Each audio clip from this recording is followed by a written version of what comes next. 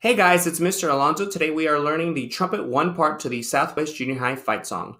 I want to remind you that I am a clarinet player, not a trumpet player, so go out there and listen to some really good trumpet players. The first thing we're going to look at is the time signature. Right here, it says 2-4 time, which means two beats in a measure and the quarter note gets the beat. The next thing we're going to observe is the key signature. Right here, it says no flats, no sharps, meaning that we're going to be playing B natural, second valve, and F naturals, first valve. But let's observe the entire song for the beginning. As you go through in the third measure, you guys have an F to an F sharp, meaning you're going to play F natural, first valve, followed by F sharp, second valve. Okay? In the fourth measure, we come across our first B, and we're going to play B natural, second valve, only because the key signature says no flats and no sharps. Going on, there's another B natural there, another B natural there, and then we go to the third measure of the second line. It goes A, A flat, G. So A is one and two, A flat is two and three, and then we go to G.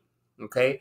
Going on, we have uh, G, A natural, B natural, second valve, C, B natural again. Um, and then we get to the third line. And right here, uh, that might be a new note you've never seen before. That's an A sharp.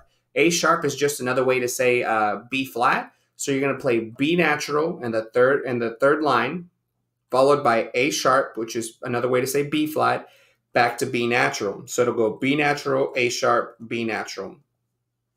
Going on, we have another B natural right here, followed by C, C sharp. So it'll, you'll play C, which is open, followed by C sharp, and then the first note of measure 13 is a high D, which is first valve. So I'll go over that again. Um, you'll play C, C sharp, and then D in measure 13. Then going on, we have another B natural. We have another A to A flat G, just like we did here before. Um, going on, going on. Ah, we have a high D to a C sharp, back to a D, back to a D sharp, and then an E natural. So let's go over those measures, okay? Starting here, high D is first valve. C sharp is one and two. High D is back to first valve. D sharp is another way to say E flat, so it'll be second valve and then high E natural, which is open, followed by C, which is still open, then B natural, A, and G. Okay, going on, G, A, B natural, C. Uh, this is pretty easy here. And then we have a big jump right here. We're going to go G, A, high E natural, open, and then high F is first valve, back to high E open. Then the next line we go D first valve, A, 1 and 2, G sharp is two and three, back to A, which is one and two, and then measure 29 is D. Okay. Um, C, B natural, A, C, A, G. Ah, and here at the end, we have a G, F sharp, G combination. She'll play G, F sharp, second valve, back to G, and then you'll finish the song with A, B natural, and then high C, and then a C at the end. The last thing we want to look at is all these little markings. Um, this is called an accent, and you see those quite a bit right here. So those accents means to um, attack the note a little, a little longer, or emphasize the note a little longer. So um, here you're just gonna tongue harder, make the notes longer, and emphasize them a little bit more. So a, a bit of a punch.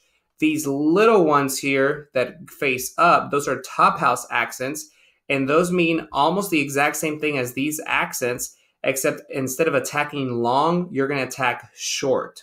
Okay. So you're still going to tongue a little harder, but play them shorter. And then the little dots above and, below the notes, those are called staccatos. And staccatos means to de- play the notes detached or shorter, um, or put some space between the notes every single time. Okay, and then of course observe your dynamics. We have a fortissimo there, which means very loud, followed by a forte, which means loud. And then here at the very end, we have a crescendo, which means to uh, start soft and gradually get louder until you get to the fortissimo there at the end. And I'm going to do my best to try to play these um, dynamics for you, okay?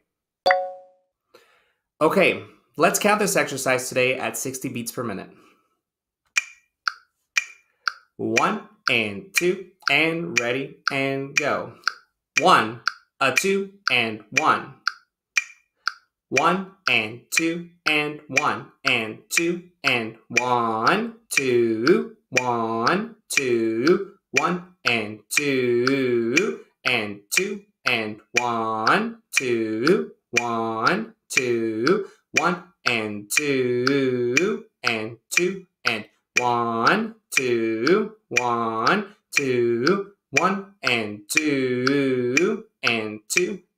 one, two, one, two, one, and two, and one. And two, and one, two, one, two, one. And two, and one, two, one, and two, and one, two, one, two, one, and two, and two, and one, one, one, two. Okay, let's play this exercise at 60 beats per minute. One and two and ready and go.